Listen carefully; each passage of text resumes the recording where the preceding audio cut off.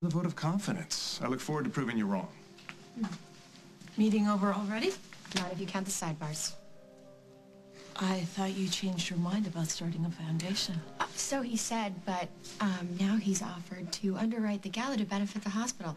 The guest of honor includes a prince, complete with a set of crown jewels. Isn't that generous? You're kidding. We'll be raising money that the hospital can use in any way they see fit. I hope you'll come, Meg. Prince is very charming. Even Dusty's on board. Unless they let Barbara talk him out of it. No. Barbara's on board, too. Barbara's on board with what? In lieu of establishing a research fund in your sister's name, Craig has generously offered to underwrite a benefit for the hospital, and we're invited. Have you lost your mind? Paul. The only reason that Craig is involved with anything is so he can keep his fingers in everybody's business. No, he bows out once it's over. He's never bowed out of anything. Well, that's interesting. Coming from a man who bowed out of an engagement with Emily at the wrong end of a gun.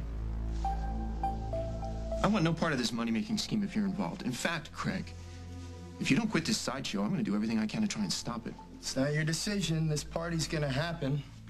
With or without you. I can't figure out why you did a 180 on this, Dusty. If I didn't know better, I would think you were working with Craig just to get back at me. No. I don't give a damn about you. Could we have a moment here, please? Listen to me, okay? Dusty's not going to give Craig an inch. He'll be all over him. There's no way that Craig is going to be involved in any decisions concerning the money. You sure about that? Absolutely. I hope you're right.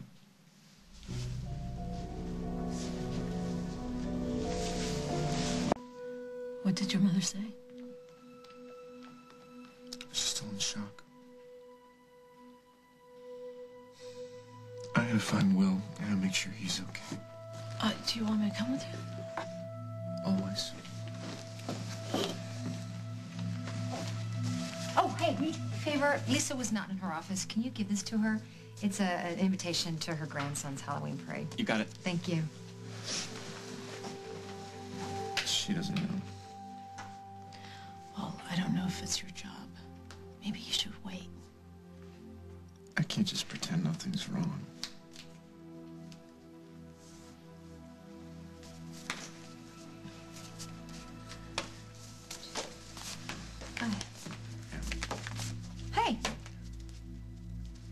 I need to talk to you. you know, I can't. I'm busy. Sorry. I've got so many invitations to drop off. I've got my mom and Hal. I Yeah, he's due back any day, so House. he goes to Why I need to Daniel's talk to you. parade. About what? Can we sit down?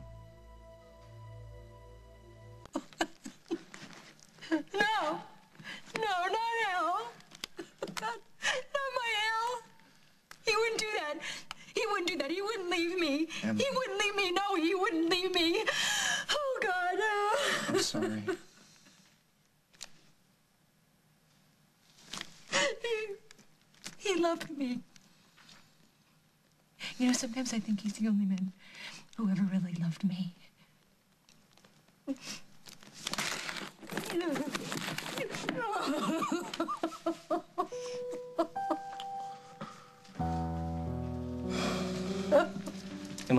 Emily, Emily, what's wrong? Oh, What's wrong? What's...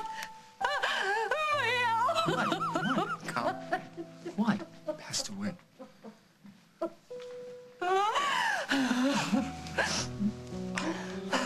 I called Jack. Hal's family and friends are meeting at yours.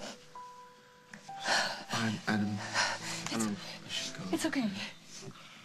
It's okay. Yeah, I'll, I'll stay with her. What do you think? Um, yeah, let's go. Don't be a coward, okay? Before life got crazy, he loved you too, so just go. Barbara is going to meet you there.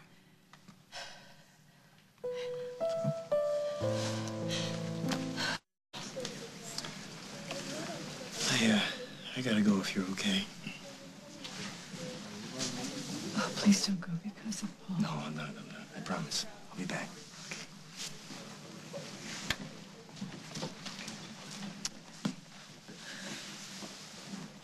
So glad you came.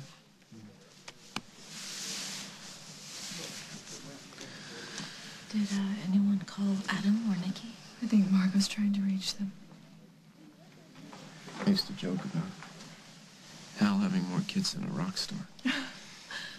It's true. Women loved Hal.